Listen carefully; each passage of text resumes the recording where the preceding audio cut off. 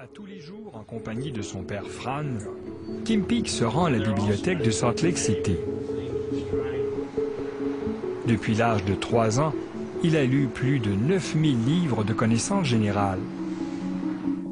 Il lit à la vitesse de 10 secondes par page et en retient plus de 90 %.